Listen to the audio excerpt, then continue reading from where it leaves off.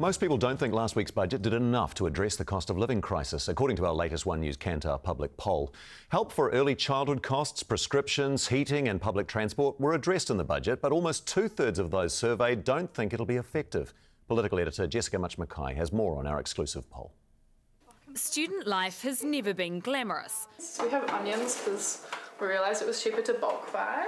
But things are so bad, there's now a nickname for the cost of living crisis. Yeah, cozzie livs.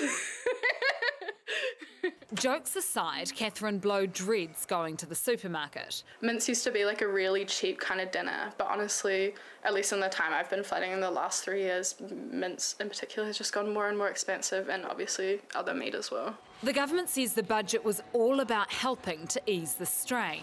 So we asked, do you think the 2023 budget will be effective in addressing recent increases in the cost of living? 60% say no, it won't be effective.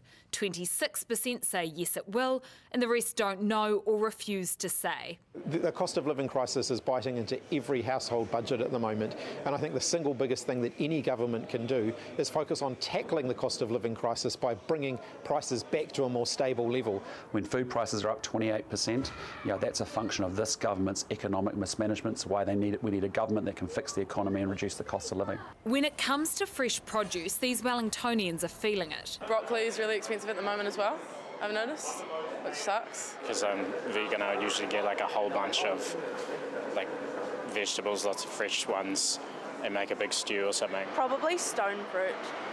Like, even when it was in season, they were still far too expensive to get. We asked, are you buying more, less, or about the same amount of fresh fruit and vegetables as you were this time last year?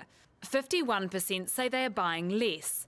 40% say they are buying about the same, and only 9% are buying more.